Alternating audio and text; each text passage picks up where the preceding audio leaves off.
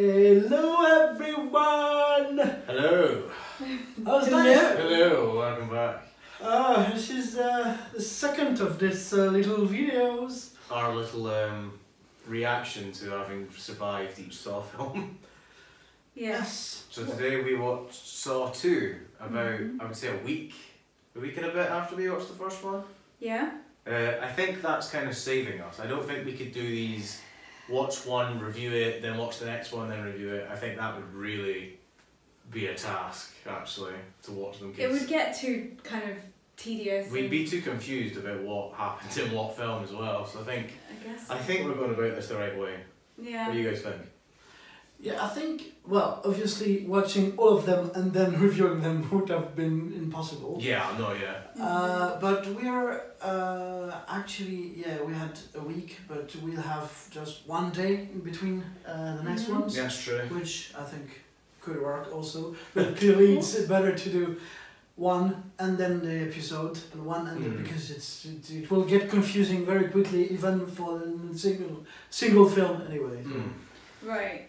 Um, I actually really enjoyed the, this film. I thought that I wouldn't because I've I've seen it quite recently and I thought I'd be like, oh god, not this film again. But actually, it's quite clever. Yeah, it's still it's still got its freshness to it. It doesn't feel like it's outworn its stay just yet. Yeah, and the poetics are truly in effect this time. Yeah, yeah, yeah. Finally, we The get to- shattering. It's soon to come, but yeah, we've they eventually got round to it. Not bad for a space of doing it within well less than a year because it would have come out two thousand four. The no two thousand one. Sorry, the was no that was right two thousand four for the the first film, and this Yeah. film is two thousand five. Five. So that's less than a year to make a film because by the time it came out to actually get up and start pre-production, that's less than a year. Pretty I good. yeah I saw an interview of Tobin Bell saying it started in two thousand and three, but that's obviously when the initial production started. Yeah, yeah, yeah. The For release first one. dates, uh, the release dates are the ones we use Mm. Right, uh, right, right. every time Yeah, of course. to simplify. Yes. I mean, they obviously have like a bigger budget. They have a, a more. They probably have a lot more people involved in it as well. Yeah. So that's there are true. more like minds that can come together and like, you know, any plot holes or like can be looked over. That's true. Um, so So- because there's quite a lot of stuff going on and there's like quite a big cast and um, just the kind of story is quite complicated. Yeah, it's getting there. So, um, yeah, so are we, we feeling on a scale of 1 to 10? Are we ready to discuss and carry on? Yes, uh, the question you asked in the first bit uh, that we did this one. Was if it in we- this? If we, no, the, no, the previous one you asked if this one enticed us to watch the following one. So, is this, that was in this, not the podcast, I forgot. no, that was in that thing. Alright, so yeah, that's the question I'm asking. Are you, you ready? Would you watch the next one? Yes, Okay. Yeah? Yeah, yeah, yeah, yeah. Alright. hmm I would, but I'd be re- if I hadn't seen any of them, I'd be really worried that now it would just become a cash grab. Yeah, 'Cause it's three like is the always. first two is usually okay, and then it just gets worse and worse. Usually, usually in a franchise, but so I'd be worried, but I'd still watch it. Yeah. Yeah, but and you're also get to because you you can you get to wonder. Okay, so what happens now with those uh, new Hmm. with these new elements? How can it develop and stuff? Yeah. Right, and and if he uh, uh, actually gets saved Yeah. and all that stuff, that's actually Yeah, yeah. something that you know I was wondering. That, that is that what the next film is about? That you know he finds a way out and stuff like that, or is he completely forgotten and they just move on? Like in the first one, we don't ever hear until then, and it's like, oh shit, okay, so he actually just they just left him to die, literally. it's really fucked up.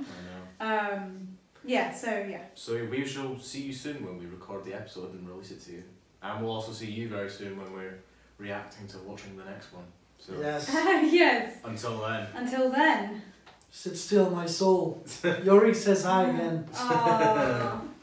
Hello, everyone. Hello. Hi. Uh, as you can see in the background, if you watch the video, today is about Saw 2. Yes, we're on to the next one. uh, I hope you enjoyed our review of the first movie and are eagerly awaiting us discussing Saw 2 and the trend that it now sets. Uh, Adam, it was your idea, so I have some notes, but still, you have I, the floor. I will be driving us forward on this voyage of gruesomeness. Um, right, so in the last episode, we briefly touched upon the whole hostel and uh, torture porn aspect that Saw kind of introduced. However, it's not totally present in the first film because it's we barely see we see like maybe two or three traps and then the whole escape the room that really set up Saw. Um, however, this is the first film that starts off a trend for every other Saw movie that we will watch, which is the opening trap scene, which in this film is Michael and the infamous Venus flytrap. Um, so I'd like to open the floor. How do we feel for an open for an opening of a film? Well, uh, there's something I don't know if um if I talked about that in the first one. Um, if people were just to wait and think and not jump forward, that um, wire that actually triggers the trap. Oh, of course, yeah, yeah, yeah. It's Well- the same in the first film. Amanda, when Amanda gets out of the chair, she pulls the pin on the on the reverse bear trap as Ah, well. ah, but what would you rather? Panic and so let something happen, or just starve to death? Because it's not like Tobin Bell would have come to save you. You I- would just stay there forever. No, but I mean, yeah, you you think well. The the thing also is that we talked about that in some other episodes. Uh, namely, we started with that thing you do like when you're in, in under pressure and you you are a fan of someone, you you don't think properly. So obviously they wouldn't think uh, properly, and they would. I would probably do the same I as he did. I think you know by that point if you're going to like do it or not. Like in your mind, if you wake up in that room, you're either going to do it or you're not going to do it. There's a big thing that because in the first film they get six hours, they get a hell of a long time to cut their own feet off and figure out how to escape the room. This guy gets sixty seconds. Yeah. Ye- So yeah, gonna go on, Yann. Yeah, I would. Um, so yeah, I probably, uh, yeah, I probably probably would react like he did. But if you it depends on the, if you're a Cartesian kind of guy or if you're, uh, you have um, Buddhist uh, principles, you would probably just wait and uh, try to analyze, which would probably have worked uh, for him. But but but but but but but um, uh, what? Hello. Yeah. you- yeah. Hi, it's us. Did that make a difference? A wee bit, a yeah. bit, yeah. Okay. Um, I'm just thinking that i if he didn't start the timer, then the game hasn't begun. Correct. But doesn't that mean that he would just starve to death with that thing in? What do you like, mean? what's the difference between him not panicking and analyze the situation? He would still be in that room with no one to help him. Yeah. It bet he has more time to think about. Well, maybe that doesn't help. Well, he has the time to psych himself up to do what he's got to do. Like, I guess. Okay. Okay. Okay. So, Yeah. but would he? Would he? I think to get to the box to where the scalpel is, he correct. That has that to would trigger it. Yeah. pull the thing. Yeah, so Yes, but he also got the, the he he got the explanation of what he had to do before it jumped to the box, right? Yeah. Yeah. That was on. So I, yeah, well, ah, so so you're saying that if he just waited, heard the explanation, psyched himself up, and then ran to the box and quickly did it. yeah. Right. Okay. Uh, so okay. So But that we did a we- round route, uh, but We never got to know if there was maybe there was um, a special thing that was in place that if that ever happened, like uh, after five minutes, it still started anyway. Nah, but it's on a it's on a thing. That's that timer is it's a weight thing because you see the weight get pulled up when he moves forward. It's like it's a, it's a it's like a pin pulling a pin at a grenade. But this is the thing as well. It's like because it's a choice, he did it to himself, um, which is Jigsaw's whole thing. That like, oh, I didn't, you know, I he says it in this film. Like, I've never murdered anyone. I always gave people a choice. Mm. He talks about how um, if he didn't actually like take the pin off to start the timer, then probably would just leave him there. Yeah, well, he would die. He would, he would starve to death, as you've said. Yeah. Yeah, like so. Yeah, The thing is, though, sixty seconds to realistically cut out your own eye. It's not a long time, is it? Mm, no, I mean it's it's it's hyperbole, right? Also, Like- to like dig around and find it, you've got to you've got to do that within the first ten to fifteen seconds. If you haven't made the cut in the first ten seconds, you're you'd finished because you're not going to do it in time. Just one thing if you- when you're in your uh, thinking about stuff and if you wander your eyes towards camera right uh, you'll your mouth will automatically be in the right position for the mic that's why sometimes you look left and then uh, you're out of the but Oh, right. if you yeah It's just because I feel really weird talking to you without looking at you. That's why. Um, Mm, so mm. I'm always turning towards you guys, but Okay. probably for podcast, yes, I'll, I'll learn that. okay. Uh, there's a bit that uh, I know that you said uh, Adam is the best bit, uh, the Uh. detective's uh, son answering machine. Oh God, yeah. Uh, I, hopefully, people are watching these films alongside us, so we don't really need to um, tell you what happened in the film. So we'll kind of talk about scene bits by bits and connect the story together. Um, so we don't need to do a plot summary. But yeah, that whole that whole bit where he is like, "I'm sorry, he can't come to the phone right now." Really, really good.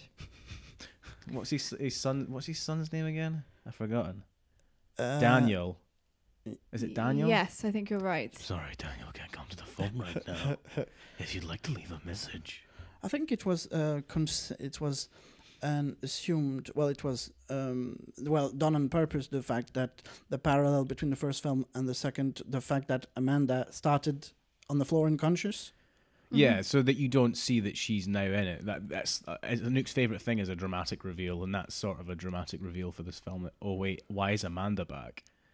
yeah well it's the dramatic reveal of the character so it's fine it's a dramatic reveal of actors that you have a problem with right yeah, I don't. I don't mind dramatic reveals of characters at all because I think that can be quite fun.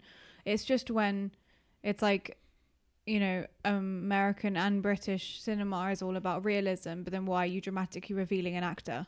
Mm. That doesn't make sense to me. Like either this person is playing a character and you're supposed to believe it, or he's an actor playing a part. Which one do you want, America? That's Mm. true. Mm. Um, so, for example, um, the murder on on the Orient Express, hmm the dramatic reveal of Johnny Depp. Oh yeah. Uh, it's ridiculous. that's, that's just my feeling, anyway. Thor two. Uh, This film really doesn't. You know, but I remember mainly in the first one we get the setup of like where we are. This is where the film will take place for the entire film. The the bathroom immediately, like the first fifteen minutes is in that room. We don't really get to the main trap of this film until maybe like twenty to twenty five minutes into the film. I Well- think. I think it's at least fifteen to twenty five. because it's I, I didn't recall that the this um, uh, escape room vibe was so early in the franchise like in in terms of multiple uh, rooms inside uh, uh, a thingy which you didn't necessarily have in the first one Well, I remember fi- it's number five is the big one that we talked about in comparison to Jigsaw because of the it, it borrowed the idea of five people in a, in a, a room. But realistically, Saw Two does the same thing when you think about it, and I think most people do kind of forget that fact. I'd forgotten that too because realistically, the, the it comes with a reveal. There's only about four, maybe yeah, about four t- traps in this film. There's the Venus fly, needle pit, furnace, hand trap. yeah no, That's about four. they're all spaced in different rooms Oh, and the and yeah. the and the the stair with the SWAT team, ah oh the little booby trap in the stairs. which yeah did it booby did did it do that for all the SWAT team No, just the first guys. I was like, okay, so why so why did the other people were they just sleeping then? They were on the floor and they fell. no, they were dead. The two, the, From they, what? They got electrified with the the cage. It was- Right. they got Mm. okay, yeah, okay, and okay. the guy that got his leg damaged. It's not. I don't think they cut it off. I think it's like broken or something. Anyway. Okay, I missed the electrifying thing. I think the whole point was that it had um it was like a pressure thing. So when he put both his feet on the one step, it broke in half and then something like swung into his shin. Yeah, like how it does in the jigsaw. You know, the, when he gets his foot cut on the wires. Yes, exactly. That's but the, got- yeah. but those are wires rather than something going inside your going Yeah. into your leg. oh, and there was also the the first one, the, the second one, then the the famous uh, "do not use the key" one. Yes, that That's- genius. But d- also because of the, the the way that um uh Jigsaw dealt with the fir- in the, the two people in the in the first film, Mm. I feel like the audience is supposed to also scream with Amanda and say, "No, no, no, no, no. follow the rules." like Yeah. that's the way that you survive. And so I thought that was quite clever because it was like um, dramatic irony. a lot of people have said in other podcasts and media about who opens a door while looking through the keyhole. Oh no, because there's two people. That's what I thought of this when I watched it because it does. Does Xavier use the key on the door? Yes, Right. Xavier uses the key, and the guy, the businessman, he looks like a businessman, um, is looking through the keyhole. So it's not like he's looking through the keyhole And turning and the turning thing. the key. It's two All right. people using the door. I've always thought it was just the guy doing it on his own, Mm. but no, No, that's, it's that's true. Well, that's quite true. Uh, I'll make a weird parallel now. Um, you know, Amanda says because she deal she dealt with Jigsaw before that he wants us to survive this. yeah. Uh, I think it's a bit like a casting director during an audition who wants us to succeed. So from now on, just imagine John Kramer's creepy smile when you're facing an audition panel should help. That's not the line. It's so true. Actually, I think casting directors, um, well, um, I mean, maybe like really hotshot Hollywood casting directors that they might put every single obstacle in front of you when you're in an audition. But I feel like most casting directors that I've met um, in the past two years have actually really wanted you to be good and they've shown like a kindness like don't worry take your time blah blah blah like everything's really cool um, the only time that I found that is um, with drama school auditions oh yeah. is that they obviously make it really really tough because they want to see how you act under pressure how you act under scrutiny blah blah blah It's also to do with the fact that that's actually a, a team that is only hired for applications. Like most of the time, unless you get to like the final rounds, you won't interact with somebody that's part of the course. Like most of the people on the panel are part of an audition panel for drama school. Like they, that's what they do. That's their role And um, as Yeah. a faculty. mm, that's interesting and in for film and wha- whatever the audition room usually they obviously they're rooting for you. You would be solving a problem that they've been given. Yeah. Oh, and it's so, So- much cheaper to get the you than go through the whole thing. So uh, yeah, exactly. The but the ones you want to impress, and this is an advice to young actors out there, is always try and impress the casting assistant. Because casting assistants aren't going to be assistants forever. They're going to be the people that will be casting in maybe five, three to five years later. You know, they're the ones looking to like make those inroads early because it'll help them as they go further in their careers. Well, I, I think it's also like, as we were saying in, in Saw 1, that you are there for a whole project, right? So if you're kind to everyone, treat everyone like a human being, um, you'll you'll go further because it's not about impressing that one top guy. Mm. It's it's about you're trying to make something as a whole, and you're there to do one job, but you acting isn't going to make the film. Like there are so many other people that are integral to that film. Yeah. So it's it's silly to think that oh I only need to impress this one person. Like actually, like for example, Tom Cruise. One of the reasons why well they say that one of the reasons why he's so um, popular is because he learns everyone's name on set Yeah. and he remembers their name and he goes back to them and he's like, "Oh yeah, you, uh, Yann. It was great working with it." And Yann is you know working as a grip. You know, Yeah. like it's Yann's the it's- best boy. yeah, he knows Yann's name and he knows Adam's name, while Adam is a hotshot suit, while Jan is a grip. Like, you're going to get the most respect out of your team. Don't forget Dave on catering, man. Catering is an underrated. Yeah, Dave on catering. I'm, That's- t- I'm telling you right now, catering is one of the most vital parts of any film set. If you if you ha- are doing a te- if you're having like trouble with technical, like you can't get an effect to work, and then you break for lunch, and the the lunch is rubbish, everyone's in a pissed off mood. Like Yeah. the catering team are a super vital part of any production because if you're, it, there's nothing worse than having a terrible meal. I don't know if you guys have ever um, worked in retail or s- like a service to someone else. Like, I mean, like catering, like yeah, An yeah, events like, catering. like, uh, yeah, but also just hospitality basically. right. um, and how someone who's pissed off comes in to shop and treats you like shit, and you've just ruined their day without even realizing Oh, it. I've got a good story for that. Um, my dad, my dad was working in a popular uh, supermarket, and it was like Christmas time. So it was like they they used to give out like these big hamper things like you would pre-order them like way in advance, and then you would get like say your your Christmas stuff, so like parsnips, Brussels sprouts, turkey, you know, like a whole big thing, cranberry sauce, right? And somebody came back in that there wasn't any parsnips. I think it was either parsnips or carrots, and she looked, she looked my dad in the eye, and she went, "You have ruined my daughter's Christmas because there wasn't the right things in the in the package." And Yeah. dad's like, "What do you say to that?" Like, well, there's not a. Ha- you haven't. I mean, I'm pretty sure little Sally wants a like you know, a a toy, like anything else. I'm pretty sure if she gets to the dinner table and there's no parsnip, she's not gonna burst into tears. Well, she might, but also like that's kind of a great life lessons to learn, right? Like you don't get everything you want, honey. When life doesn't have parsnips, have carrots. Yeah, like Jesus, like don't that that's a crazy thing to say to someone. And it's also it's not like it's his fault.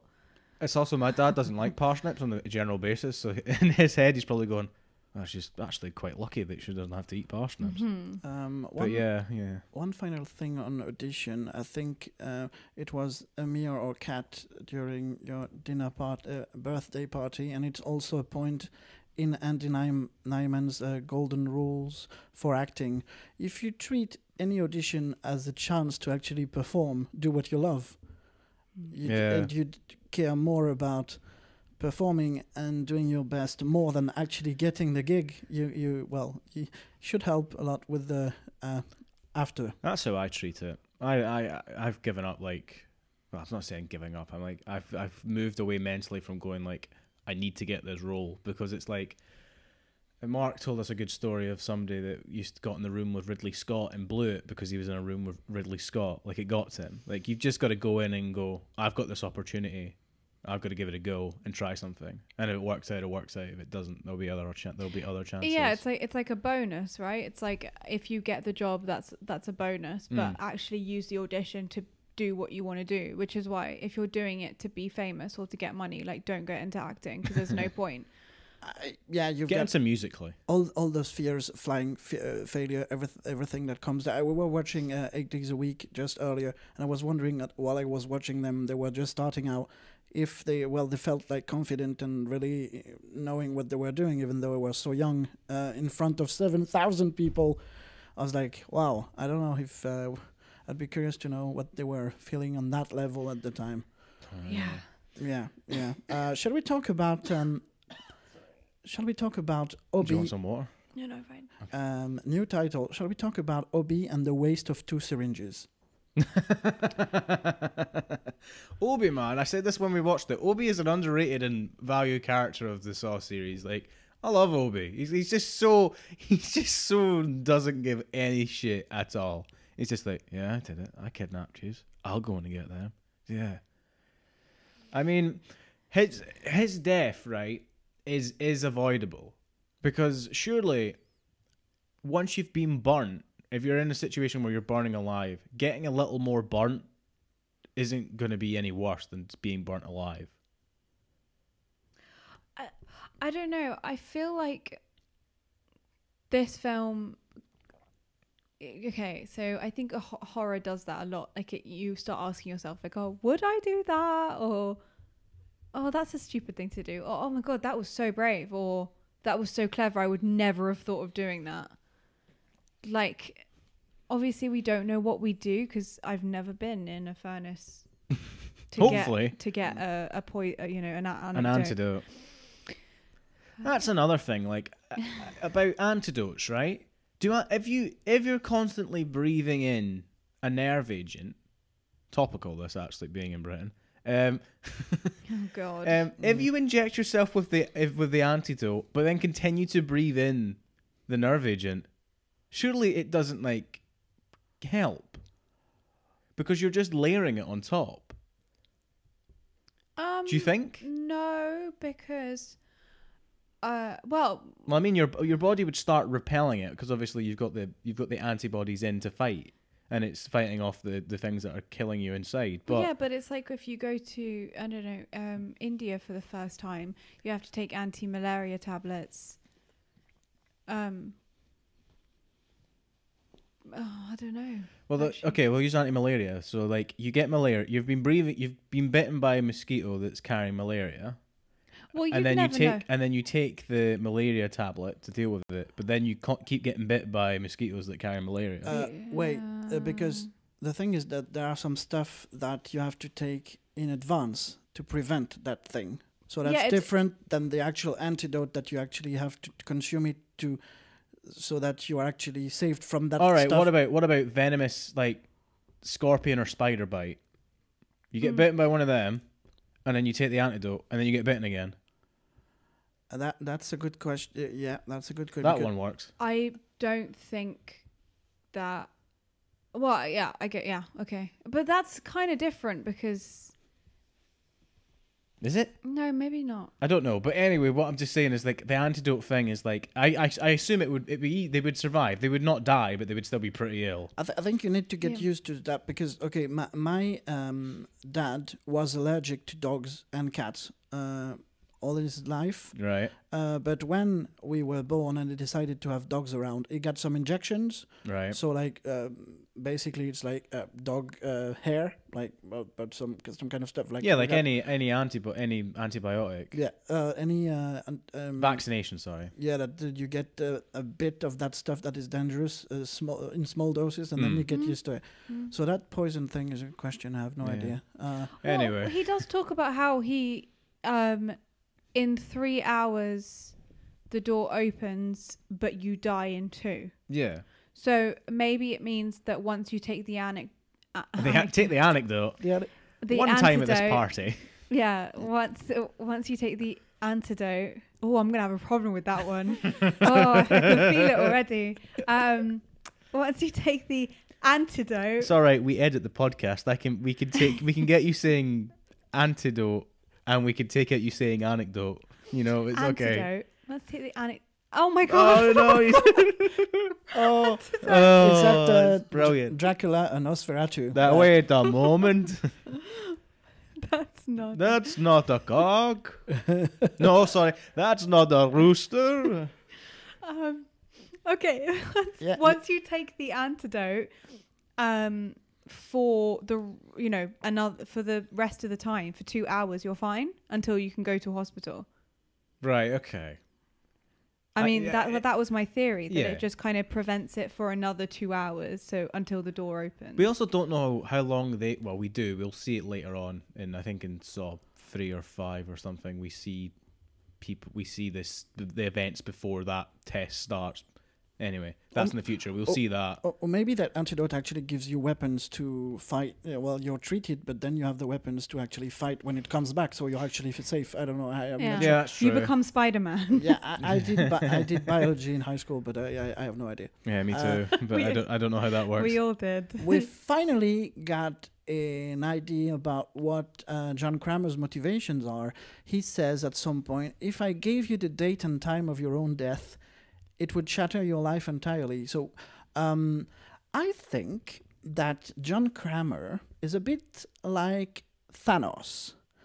Uh, he- All right. his reasoning makes sense uh, in his worldview, but the rest of the world thinks he's mad. Yeah. Well, it's it's also like um, the villain in Black Panther. Oh yeah, the Killmonger. Killmonger. Like you, you can kind of understand where he got there, and it's actually a really interesting thing to say and also to fight against. Like, of course, we should all live our lives like we're going to die at some point, but we don't because we think, you know, like I'm 26, I have another 50, 60 years left to live, so I don't really have to do work tomorrow, do I? Because I've got 60. You know, like that's the way that we live our lives. But actually, we should be like, uh, actually, I'm going to die in 60 years, so I might as well do everything I want to do every Mm. single day. Uh, Killmonger's thought process was that why is all the money and all the wealth and all the all, all the all the good heritage in one place when there are black people all over the world suffering Hmm. right? Mm. And so it's like, yeah, I understand, but the way that you are doing it is wrong. It's a little bit like, you know, quite a lot of liberals at the moment. how they're doing shit right now. Yeah, well, it's yeah. There's the, the strip you of your free will, and it's just like Thanos. Like, um, yeah, I know that it's like this, so I'll just uh, remove half, and I know that will work. There's no worries. I I said I said to my brother like a few weeks ago, was like, yeah, in, in a sense, I can I can see his point of view. If I was in his shoes, I would. Uh, Probably say the, th- the the same. It was like, well, uh, no, no, he's just just like he's mad. You remember? Yeah, yeah, but you know, it's just, just like um, John Kramer.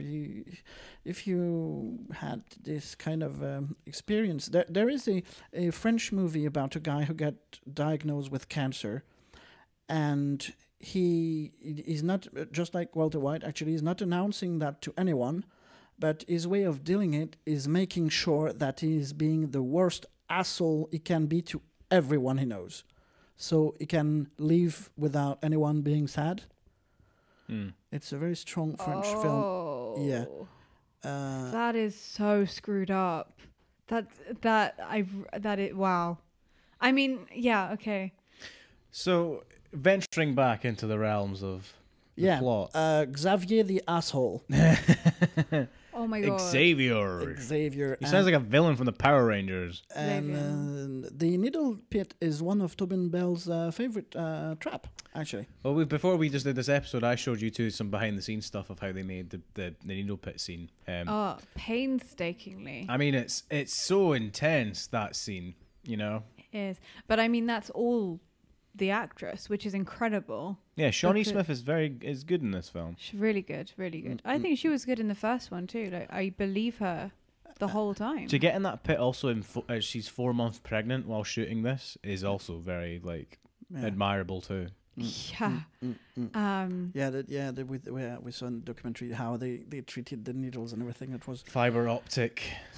Yeah, and we, uh, we we have a personal connection to that specific trap, especially the way that uh, they, they tried to open the door. Didn't don't, don't we? Yeah, I um in the escape room we did with Emma last year. Um, at the very end, I dropped the key. Oh, did I drop the key or did I? I didn't. I don't think I dropped it. I just couldn't get it to open the. Do- I couldn't open the door. I kept turning it the wrong way or something. Yeah, you I don't think I dropped it. I took. A, I took longer to do it, but I know what you mean. Yeah, it's. Hey, when you get there, you're like, oh Christ, which way do you go? Um, yeah, uh, well, let's talk. Uh, what do you think about the most efficient people in that movie? Uh, when John Kramer says at one point, "The tech team's arrived." the tech team. The tech team is on their way. It's like, how big is the city they live in, or what? What? What's the tech team doing? Like, are they on a more important job?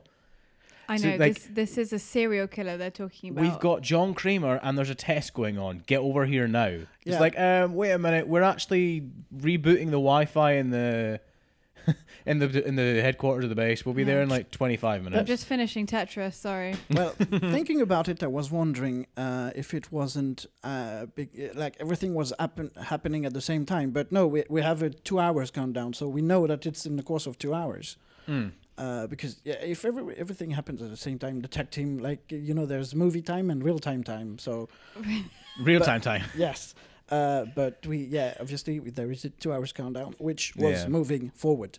It's interesting as well because uh, in hindsight, you realize that there's a timer because Daniel's oxygen tank is decreasing, right? No, the timer is for the safe to open. That's what that timer is. Yeah, so yeah. the safe that Daniel is in, when that timer hits zero, it will open and Daniel's there. So the test Oh, so that's fine. the He'll whole always- game the whole game is because in the so we'll establish now a and b plots we talked about briefly in the first film the shall we establish what we believe a and b is so we do a is the test subjects and b is the detective story or Uh-huh. sh- shall we do that from now on so every film we get to a plot is traps b b plot is detectives Yeah. yeah, so- it's fine. yeah. So the B plot, even though it's kind of presented as an A plot because of um, Donnie Wahlberg's Eric Matthews is is really the main test in the in the whole film.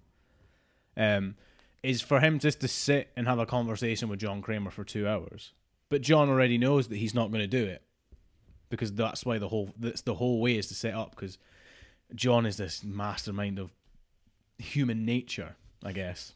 Yeah, and he knows that um, a police officer who's corrupt, who plants evidence and manipulates and blackmails people to Mm. get them, you know, convicted, um, and also someone who was used um, interrogative ways of getting their confession Hmm. um, is not going to be a type of guy to be like, okay, yes, Mr. Serial Killer, I'm going to listen to you for two hours and I'm going to obey the rules because he's not a rule Hmm. Rule obeyer. I'm not a guy that obeys by the book. Mm, Exactly. we, I we, throw the rule book away. we, Du-du-du-du-du. we still haven't reached the level where it's uh, confusing as hell. No, we're Uh, not. It's yeah. the, the we, the poetics were shattered on this one. it started because the B and um, the A and B plot were not uh, intercut. Well, I mean, it was not that this, the, the the the action didn't. Uh, well, there was a time difference basically. Mhm. Uh, it was, re- and it's what is nice is like it, it those are re- like you get in heist movies, like recordings instead of live feed kind of stuff. Uh, but still, if I, I've seen that once or twice before, and still you still enjoy it uh, a Oh, lot, yeah. you're still like, but why? Okay, so they are in the room, but uh, the um, uh, cop lady can't see that. What? what so you, you know, but you still enjoy that whole uh, process. Well, I believe that the the A plot happens the day before they raid John's room, because we see, um, his er, at the very start of the film we see Donnie Wahlberg collecting his son from an electrical store that he's tried to shoplift from, Mhm. and then he goes, "I'm going back to stay with mum this weekend," and he disappears. It ha- he never gets to the mum. Clearly, he never gets to the mother. So I Yeah. think that the, the whole A plot happens the day before, um, the B plot. Mhm. I Uh, agree. um, which makes it even more like because because for years I always thought it's like is this just happened like a couple of hours before like they've just missed it, but no, it really it really does seem by like even the sort of windows that we kind of see in the in the house that is dark and they raid the um they raid John's room when it's daylight, even though that was weird because it was like seven it was like half seven at night. I'm like God, it must be like the middle of summer, like still light at half seven at night. Mm-hmm. But- Summer. Yeah. So yeah, the the time time is going to get even more confusing because we haven't even got to flashbacks yet. Like when we're jumping in and out between films. Um Uh, Yeah, and also like mm, there there isn't enough. Like it's only t- film two, right? So there's it's it's not like it can be overcomplicated yet. no. Um, Yeah, I'm curious how the writing works because in some series, like when they want to add drama, they have uh, someone call. There's a, like an interrogation room, and they have someone call, and it, it seems important, but no one wrote uh, anything about what was said on the phone. they think about that in later episodes. Yeah. I, I wonder what, uh, uh, the, just like the Wachowski bros, uh, sis brothers uh, tried to, s- to sell us that they thought about the three uh, matrices uh, right That's from the true. start. Yeah. Um, I'm I'm really because I have a feeling, and it, it all makes yeah. Well, you need to be focused, and that's not the one that you go for five minutes to the toilets in the middle, No. uh, especially in the later ones. Oh hell no. Um, but yeah, I have the feeling there was uh, really uh, many brain power in the writing rooms. Well, Oh, I think yeah. I think they got that they got the the license to do that when they realized how well the first film did. Like when they start seeing the big money because it made a huge. It made like a hundred million, I think, in it. yeah, so that's like um, It made a hundred times its budget back, really. pr- pretty much. Yeah. Um, they had the ability to go right. Where do we want to? Where do you guys want to go with this? And it's when we watch the next one, it's clear because that's the the final film that the two the original creators are involved with. Like they walk away from the table after part 3 Mm-hmm. Um, so it's it's interesting to see what they came up with afterwards because obviously the first film is meant to just exist on its own and it can exist on its own because it was their own idea and they had it for like even, we don't know how long they had the idea for, but that I mean, was a what few, they a few years. Probably, yeah. yeah. So that's what they had, and now they've gone. Okay, we can kind of open up here, and what what do we want to expand on? Well, what's interesting is that um, the uh, someone wrote this script, and then it was called something else, and was sent to producers and different people, and you know, big production companies, and then it's someone realized along the way that like um, the Saw guys, so Whannell and Wan, One, J- One? James Wan, yeah. um, were on something else. So they it's not like they could bring them on board, but they realized along the way that this could be Saw 2. Oh, that's interesting. I didn't know this. So it um and then the it at some point got to Hoffman, who's the director, Mm-hmm. right? Yeah, Gregory so. Hoffman. He's either a producer or a. He might come on later on as a director, but he might be on this one. I'm not yeah. too sure. Um, I'll check that now because they go through so many directors. Shoes- three names like something something Bousman, I think. that was- Right. Um, and then there's so anyway, it was taken to Hoffman, who was on the film of the first one, and then um, he realized that yeah, this can definitely be used as Saw two. Um, so I don't think it was actually No, he, Hoffman is a, he becomes later on. It's currently directed by Darren Lee Bousman as the director of Saw 2. But Greg Gr- Hoffman is a producer. Right. So it was it was taken to the producer of of of this film, and then he decided, oh, actually, this could work as Saw two. Right. Okay. And then Whannell and Wan were brought back to like pretty much skim through it and see if they could change things. oh, so like there was never a plan to do Saw 2, like from No. Lowell, from the two the guys that made the first one. I well, I think I think no, I don't think so. I don't think there was a plan from them, but I do know that they probably had an idea to do Saw 2, but they had no idea. It's not like this this script started off as Saw 2. It started off as another film and then throughout the production s- sorting out um you know like bringing it to meetings and all this kind of stuff They figured, right, we could use this as Saw 2. actually this could work as Saw 2 and then they couldn't bring the oh the Saw 1 writers on board immediately because they were doing stuff on another film at that point. Right. but they used that script and then they brought those two uh, as like freelance to be like guys can you like skim read this? And they put their little bits in you know two cents in and right, then so they you were like start oh actually this s- could be Saw 2 So you start adding like characters from you lads, start adding John Kramer and Amanda and so on and forth into the script and seeing, all right, how does this change it? Sort of I thing. think that that's what ha- yeah that's probably what they brought in Okay, that's interesting. Well, you'll never know how your stuff will be received and the success it will have. Like um, uh, the very first season of Buffy the Vampire Slayer was just ten episodes. They just trimmed everything and they just uh, launched that out there, and it was massively popular. And then uh, six other seasons followed. Yeah. and uh, ju- some people higher up uh, noticed Joss Whedon, who did the script for the film, which was terrible. The film was just terrible. Uh, but some people knew, and now years and years later, he uh, well, he's done his own stuff, but he went to do the Avengers and stuff. So um, Mm. yeah, nice yeah, yeah. He, again, he wrote the Alien uh, Resurrection script, which uh, is uh, uh, like one it. black mark on his resume, according to him, because I actually enjoyed the fourth one. Alien Resurrection. Well, it's better than the third one anyway. Yeah, yeah. That's why everyone enjoys it so much. Um, I'm always worried to go back after the first one to a film. There are so many like second and third films that I just haven't seen because I'm just worried it's going to ruin the whole thing for me. But It's interesting, Anouk, that you bring up that that it wasn't always planned as Saw 2. So what do we think? What was the other film? What I mean- aspects of this do you think? Do you think it was the people?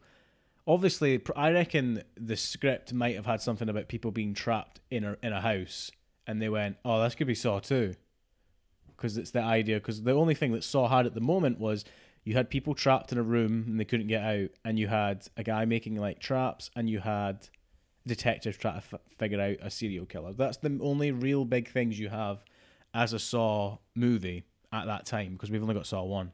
Yeah, so it was only after the Hoffman and Bousman they wanted to produce The Desperate. That's where the script started. Oh Um, right, so the producers were on to make that film, and then they they realized. When they started having conversations about it, they were like, actually, this could be the script that we need for Saw 2. And then Ah. they brought in Whannell and Wan to use the Saw, you know, traps and. Oh, sorry. Um, the characters Right. Okay. in bringing it into the Saw universe. Um, but the traps and the deaths and the and certain characters are actually from the Desperate script, which was supposed to be produced as a one thing. Ah, okay. So that just goes to show how your script could be used for a franchise that wasn't even supposed to Be a wasn't connected at all as your. Th- oh, it's crazy. It's Mm. funny because if they hadn't made that link, we would never get. Well, we might have had a completely different Saw series. Actually, you never Um, know. It's Yeah. crazy. Yeah. Yeah. Um, Just things happening at s- s- the right time. 2, 8, 9, 16, and so on. Uh, would you remember all those numbers? Absolutely not. I'm good with lines because uh, obviously uh, that's what I do as an answer. Like I'm good with lines, I'm good with lyrics, I'm good with all of that. Numbers, not so much. I don't know why. Numbers, I forget. Adam will actually tell you that I'm really good at remembering numbers because I'm usually the one that reminds you what the code is if you're playing like Alien Isolation Yeah, or like put, put any a game, game. yeah, any game that I need a code. I'm like, what was the code again? She's like, uh, oh, it was this. I'm like, how the hell do you remember that? usually like four or five numbers I can I can remember. You, you remember them as numbers? Like, or Yeah. Yeah, okay, because uh, one of the so you've got uh, memory championships and stuff, and you've got plenty of methods to to learn numbers. Mostly is to like assign one uh, number, uh, an an image, the the silliest possible, and and then if you have multiple numbers, like to to make transitions between those, but it, it has to be uh, unconscious, or, or else it takes five hours. Like but yeah or else it takes uh, way more time to actually think about those. But but once you're when you have the hab- the habit to do that uh, i used to know uh, uh, be able to learn a deck of cards uh, shuffled deck of cards uh, and recite it after well there was something that but needs uh, training. And uh, but it's all about ma- making images in your brain silly Huh. silly the, the most silly uh, images possible Um so with numbers the numbers, Mason. it's actually what happens in my brain and also this is natural so this isn't going to help anyone this is just the way my brain works is that i remember it being on screen right so the way that i had just seen it, it well yeah i guess so Cool. um which which is why when i'm learning lines i'll highlight it because that actually helps me because when i'm thinking back on a line i remember me highlighting and that's how i remember it Interesting. nice. so so the way that I'd remember the line, uh, sorry, the numbers, is I remember him going to each person and like t- uh, looking at the number on their neck, and I that's how I remember it. I I remember I learn lines, I remember myself saying them, Mm. which is Right. so it's like a it's like a loop that builds up. Like I can. So I, it's audio. yeah. I'm I've always Mm. been. It's, that's probably actually because I grew up listening to audiobooks. Probably, So I'm so used to hearing stuff over and over and over again, and it sinks into my mind. possibly. It's the same with lyrics. That's how I remember lyrics completely because I can remember myself hearing the song and then Yeah. saying the song, and then it's a loop. It builds. Yeah. But that's just me. Yeah. Uh, mi- mine is a bit more photographic, I think. Mhm. Yeah, yeah. Uh, eh, I I'm not that well with numbers. I need uh, if I'm focused and I'm actually enjoying what is happening. Well, but li- for lines, yeah, it's way way more photographic. Yeah. I test myself. You know what? Uh, what uh, Mark said you shouldn't do if you're not used to it. Um, at the well, you, you read the line and then you repeat it in your head and then you hide it and test yourself Mm. which is uh, if you know all the imagery methods and everything which are faster and more efficient and more durable uh, that one the testing is not the most the, the best one but uh, for me it works Yeah, I think as well, like with with learning lines, you have to have loads of different things, right? Because you have to know them so well that you don't even think about it. Because then you have to think about what the other person is doing in the scene, your the way the things that you have to do in the scene. If you're holding something, and then you have to think about like camera angles and blah blah blah. Yeah. So, if you're still thinking, you can't obviously I can't like uh, do one thing. if you're still thinking about lines, there's no way you're acting. No, 'Cause you're- exactly. You're, not there. You're you're somewhere else. yeah. You're separated from the scene. yeah Um. d- yeah No, sorry, I'm gone. there, there there's some you wouldn't uh, think they are but they are some gory like when uh, and weird stuff also when uh, Xavier is removing the back of his head skin that scene is ridiculous. yeah and puts it in his pocket he puts it in his pocket. Like I'm gonna keep this for later. He doesn't even well- look at the number. I don't think we don't see it. We never see it. No, I love as well. Like he doesn't write anyone else's uh, number, but that one he needs to keep in his pocket because that's the one he'll forget. Like I I, don't that's true as understand well. that thought process. Um, like I think, but do you know what? That I feel like that was an actor panicking and not thinking what he'd do in the scene. I don't think he, uh, the director told him to do that. I think it was literally like the director didn't tell him what to do, and so he panicked and thought, "Okay, I'm just going to slip this in my pocket now because I, have no think, idea what to do I with don't it." think so because we have a separate shot of the pocket. no, we don't. Yeah, we do. No, he we takes it don't. off and then it's another shot of like his waist and he puts it in his pocket. No, I'm sure it is. I don't remember that shot, Adam. I don't remember it to be uh, as two shots, but uh, yeah. But it pans down. Even if it's not too shot, we get a distinct thing of him putting it in his pocket. Yeah, but it's it's it's it's uh it's still his his core. You see his core. Yeah. It's not like it's focused on his pocket. So I feel like that's not the director deciding, okay, we need a shot of him putting it in his pocket. It's just that okay, this is the shot and the actor just panicked and thought, okay, I'm not going to throw this away because that's going to look unprofessional. I'm going to put it in my pocket. Because I don't know what, I just don't know why the director would say, can you keep that piece of skin you just cut off your neck? I like that know. just feels like that just looks like something that I would do as an actor panicking. I guess. I guess. I don't know what I would. Honestly, I don't know what I would do if I, I would feel keep like it I or if do I throw it away. Throwing it away, He's got to go back and pick it up later. Like, fuck, what was the number again? Oh yeah, this. I mean, it must have taken some time to film that. I mean, if I was in that situation, by the way, this is how it would go for me. I'd go right. It's eight two, oh, fuck, and have to go back and look at somebody else's net. Like just double check. Like if they'd had, if he obviously then he doesn't get the knife until he when when does he get the knife? It's in.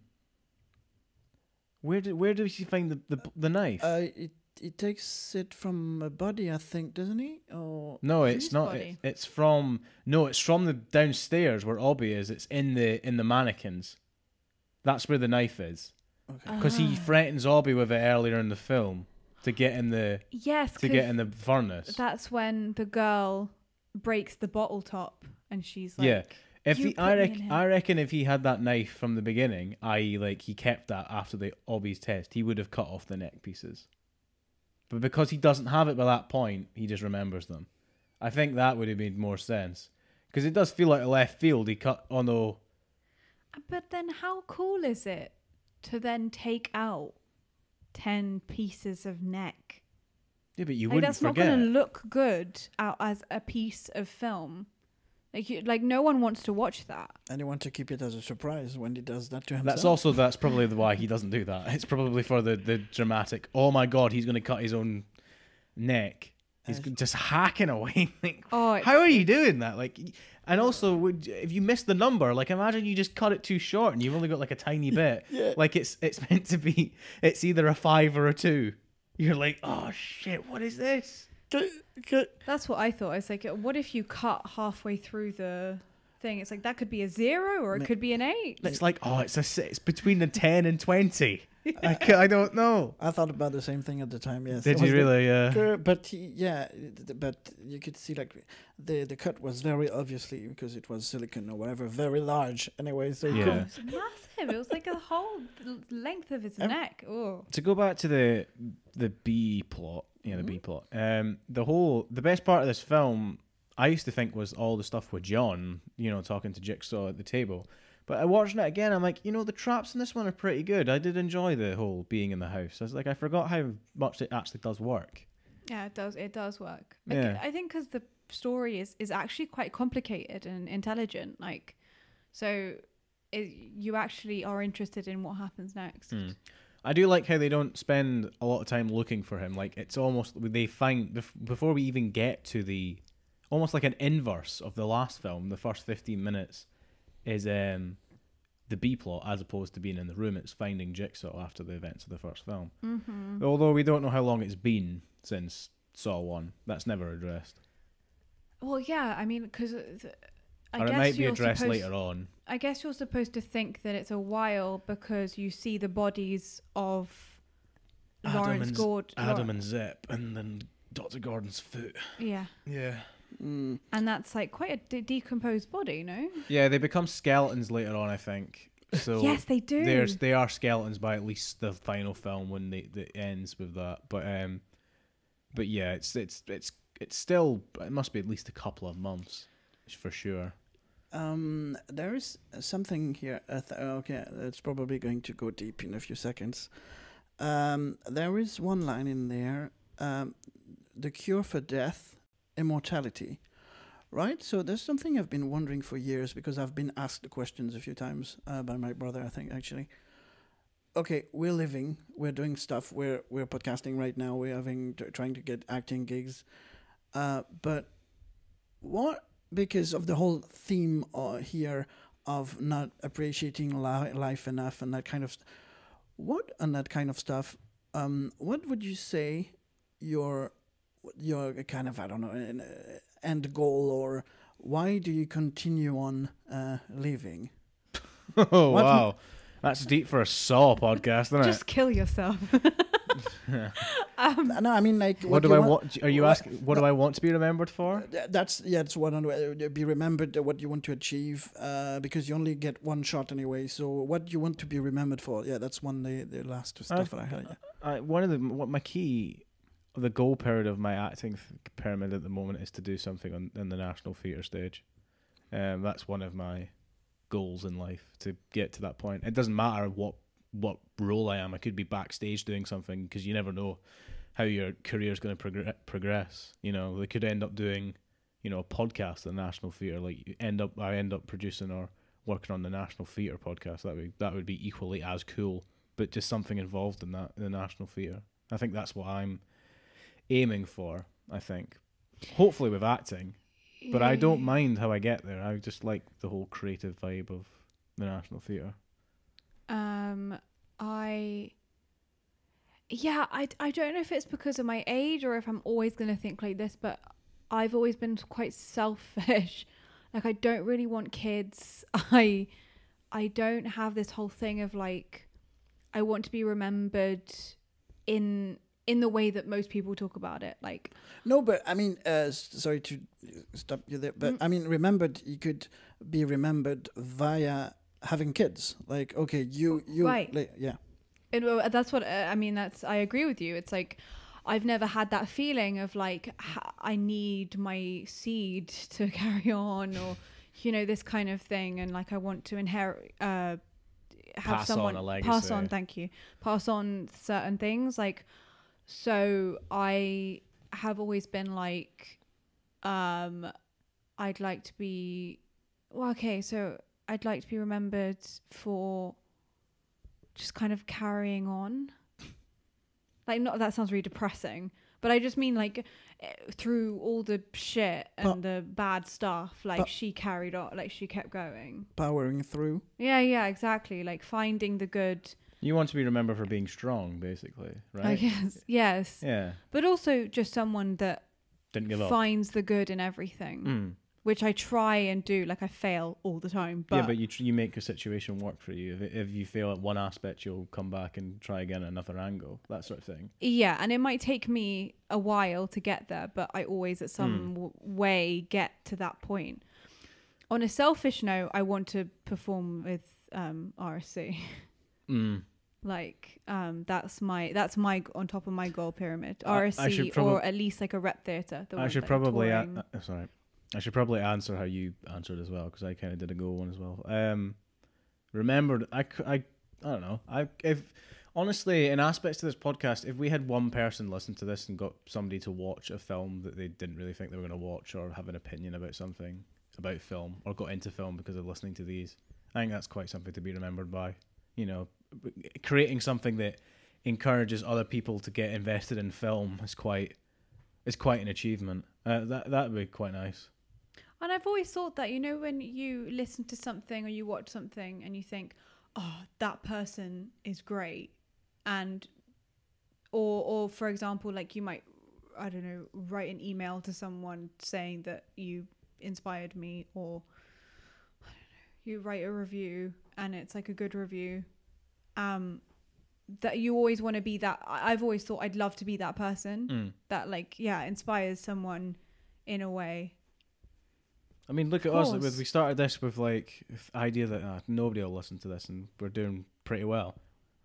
So you know, Oh, yeah, what you just said, it was uh, what I was saying. That was my uh, reason for doing stuff. Uh, um, that you would at some point have someone who could come and say, "Yeah, you inspired me in some way."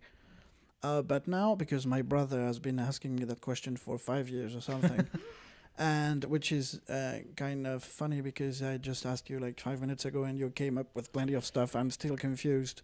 Uh, that's ju- just thinking on the spot though. Like, oh, we've got to have something. If I sat down and thought about it, like the questionnaire, like our answers on the questionnaire, I probably would say completely different answers now than what we did on the day because we're just like, uh, what? Mm.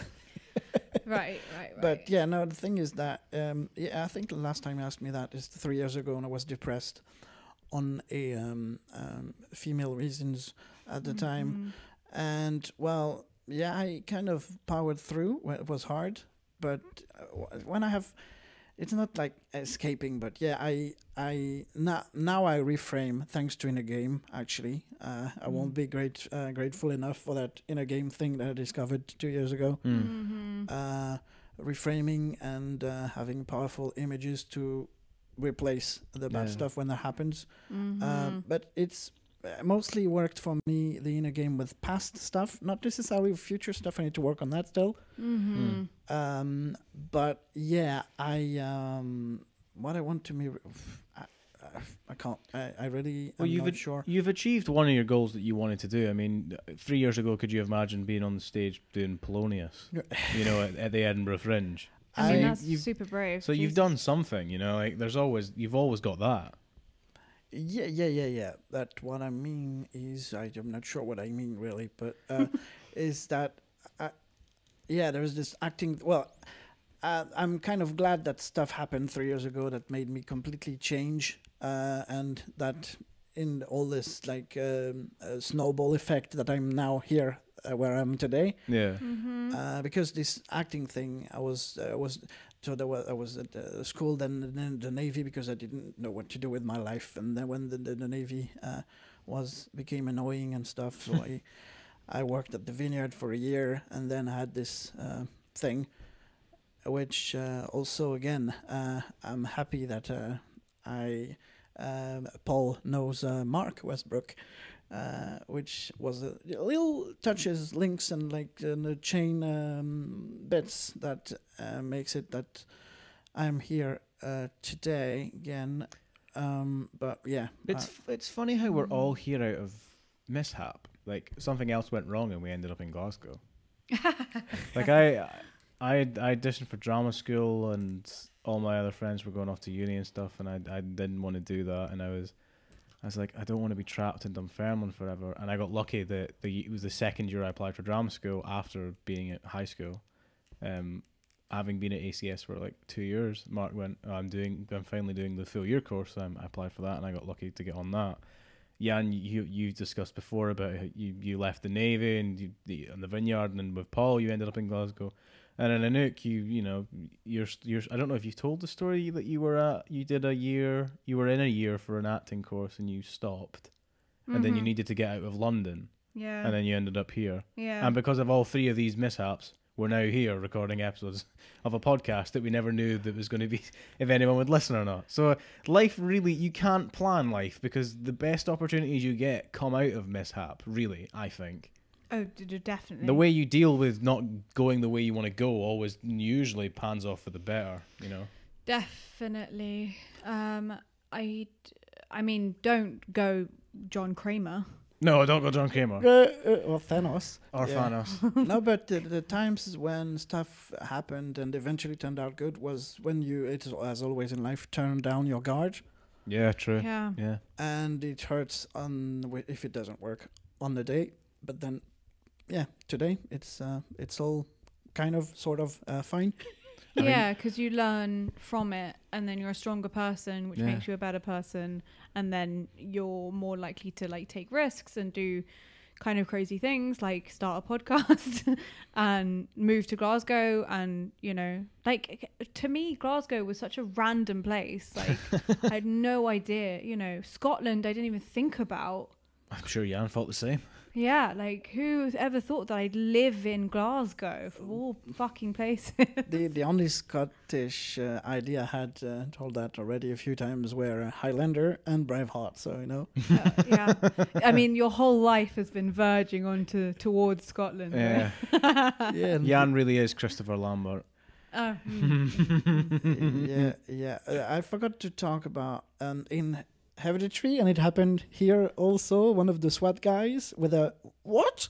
Oh yeah, that was great that was so funny real reactions. In Hereditary, yeah, with the the seance. I think uh, Johnny Yeah. was like, Mm. what? I need to stop. Th- what? I'm talking to my son. It's like the the old key, the old professor, not professor, like the sightseer in um, Holy Grail, like on the on the bridge, going, "What is your name?" Sir my Sir, um, Sir Lancelot the Brave. What is your favourite colour? Blue. What? and there's also the All right, off you go then. And it's like, what? That's easy. And then this guy goes, it's like, what? The, like, what's are great. Yeah. There's also the one with David Tennant when the Titanic enters the TARDIS. Like, oh what? yeah, yeah. What? What? What? I like What? three, three, yeah. I remember Um, are we um, ready to go? There's a couple of more things I want to bring up. Yep. A one is uh, to come back to the SWAT team, right? The SWAT team are useless because the only thing they turn up and do, they turn up with 15 minutes to go of the film, not the time limit of the, the game, I think. Um, uh, the tech team. yeah, the tech team. Okay. The tech team then can't detect that the feed they are watching is from a TV in another building. They can only detect where the TV is coming from. I, I mean, they can't go, wait a minute, this isn't a live feed. Like, what tech team is this? I know if the FBI and the and I was about to say CSI, and The E EIEIO, the FBI and the CIA, Yeah, well, you know, I, I, I thought the about CSI and then the CIA. CIA, The CIA. you know, in the CSI guys, CSI and the FBI meet up and t- team up against the CIA. It's an EIEIO. I hate you. Old MacDonald. Old MacDonald had a CIA. E-I-E-I-O. If the FBI and the CIA have a tech team like that, they should fire them immediately. So Well, it, that's no, all I wanted to say. this, the CSI team are going enhanced. Enhanced. Oh yeah, that's, I'm enhancing uh, the image. I'm rotating 75 degrees to look at it at a The different angle. velocity of the flavor. Can No, we get can we get an enha- oh no the other one is like can we reflect can we the reflection in the person's eye we can see we can see that we can see the bagel sign in the window that's how we know he's on Seventh Avenue No, but that that's a technicality. But if the feed is going out, you can't like. I mean, um, anyone except the fact that we re-air episodes. So I write like uh, when we aired again the Nosferatu episode as if it was live. No, obviously people will know because uh, I said like, okay, this is just a re-air thing. But if you get some stuff out, you have no. Well, I don't think you have any way to know that it was uh, recorded or live stuff, except if it says live. I guess so. I don't know But yeah, the time I that f- you just feel like uh, feel a tech team would know what was outgoing, ingoing. Like if it was live, surely there'd be like a feed that they could. I mean, maybe in 2005, maybe not, but yeah, yeah, but th- they get the feed. It's just that the actual source of the feed in the house. Well, anyway, um, what was your other point? Adam? the other point I'm just trying to remember oh yeah I have um the one thing that annoys me is I know it's there for the twist that we end up in the, the, the bathroom again I'm like so we're now meant to believe that that bathroom was below that house that they were in you know like that is connected to that house mm-hmm. Unless they were running down that corridor for like three miles or whatever. Because I'm like that. I don't. I don't know if I buy that. That Yeah. that house is was over the the bathroom. Because I'm like, why was that bathroom there? yeah, they wanted to do some fan service for sure. of course, but uh, it, it does seem a bit strange. I'm like, why would there be a house above this bathroom? But that's just me nitpicking, I guess. But then again, it could have been just like constructed by Jigsaw himself. Uh, maybe it's like a, a yeah. It's like I a guess. torture house room. I don't think he thing. built that. I think it's like maybe if they were like working on sewers or underground stuff, and it's like just an extra like bathroom and stuff for workers or something like that.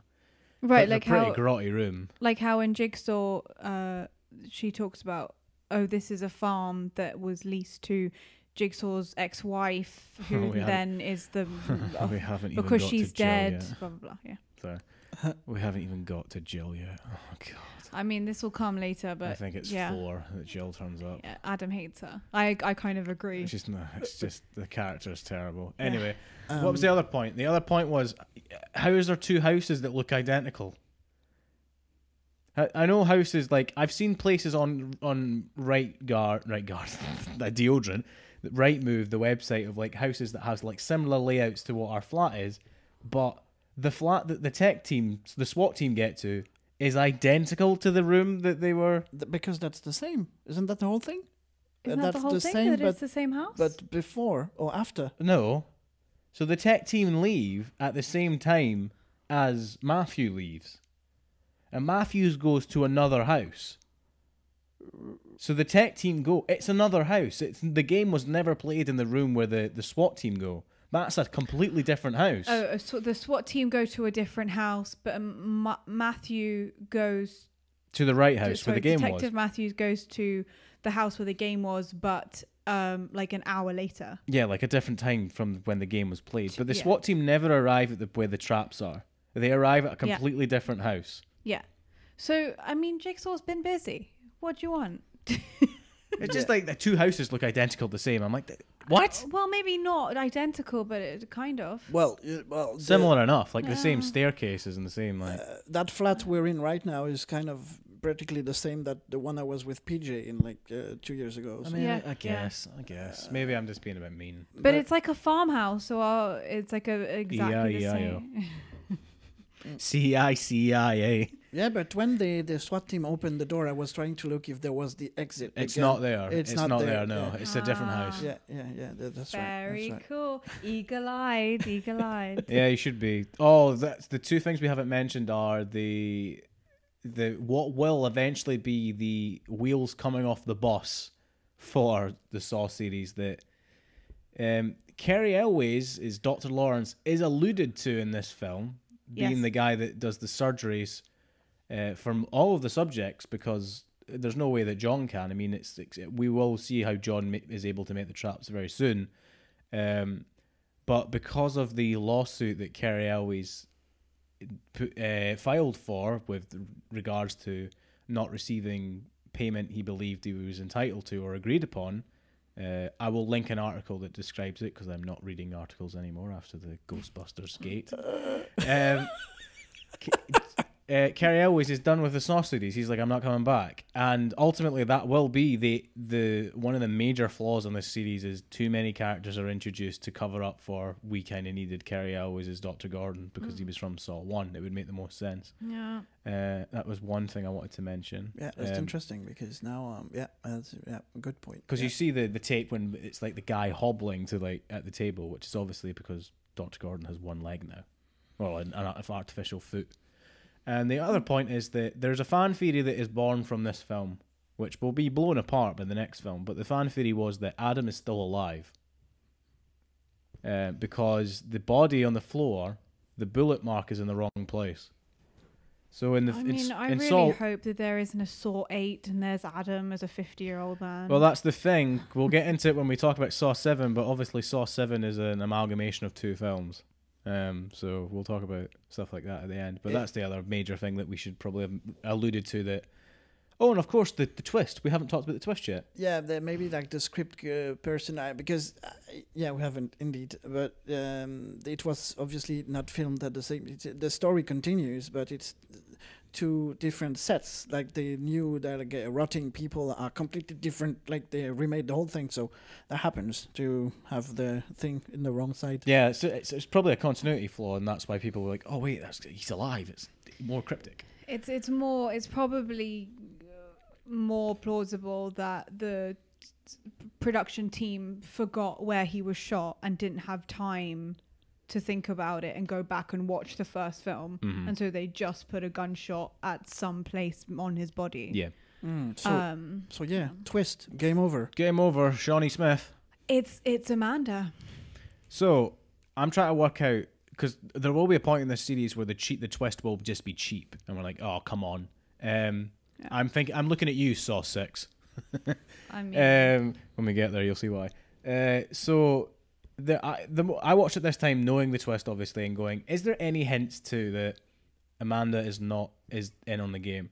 There is one big one that I don't. I wonder if you two uh, guys have spot. So I'm going to see if you could figure it out.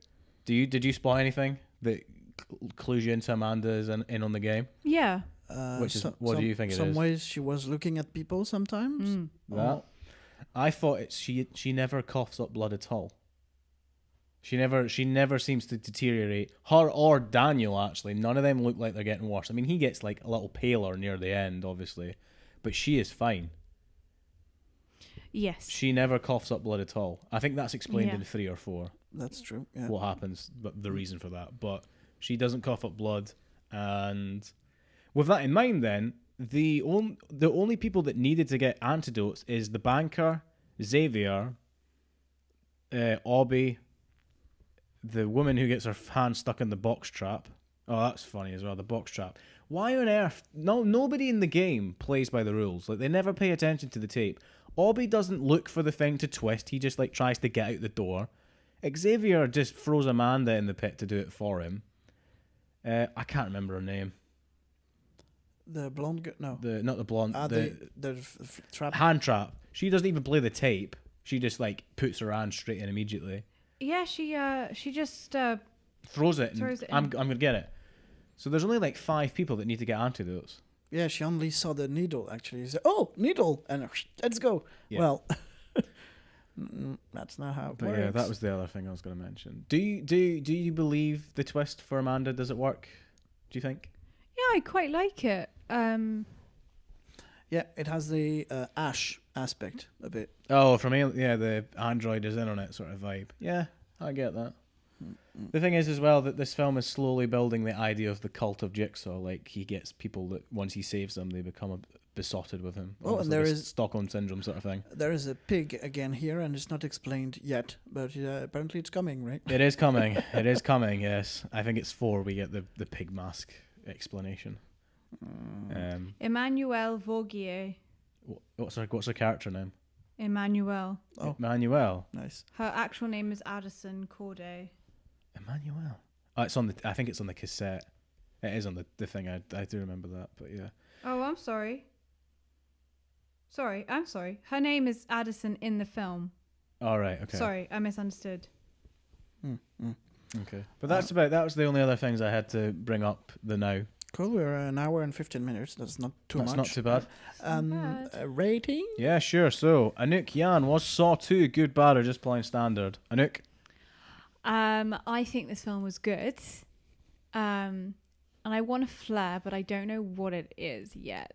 Should I go over to Yann? What yeah, I'm gonna think about this one. Yann. Uh, I would say that uh, Aristotle would be annoyed by the shattering of the uni- of the unity of time, but um, still, it was good. Mm-hmm. Excellent. Anouk, you had a. The thought. Do you want me to go for one? Um, I guess kind of calm before the storm. Calm before the storm. Yeah. Yeah, I still say it's good. I don't think I'll have a flair. I don't think it, it needs one. I think, I think it's obviously it's it's a. Is it a good follow up to the first one? Uh, yes and no. It's not really.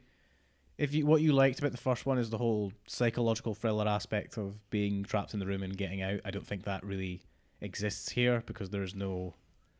It's never really implied in the in the A plot that they can get out before the time. They just have to get antidotes which is a bit of a shame, but it, that's what they're going for, and it, it's it works fine. But for me, it's still good. It's still good. And with that in mind, Anouk Yann, would are you would you continue to the next one after seeing this one? Y- yes, but I'd be worried. Like I'm But- worried. But are you worried because you have fears about sequels? no, or are you because worried? I. Well, yes, yes, yes. Or- I'm worried because I usually worry about, if not the second one, definitely the third one. I'm worried.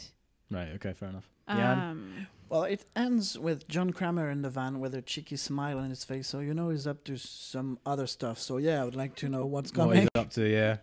Me too. I'm the same. I'm still carrying on with this series. So yeah, there we go. That was Saw Two. Okay.